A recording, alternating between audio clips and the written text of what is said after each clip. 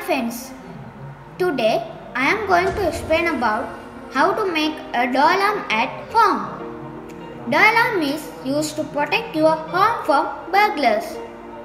You want to get these things to make door alarm.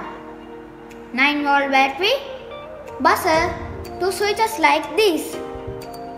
This switch is special as the button was pressed we can't hear the sound. The button was not pressed, we can hear the sound. Now I am going to make the door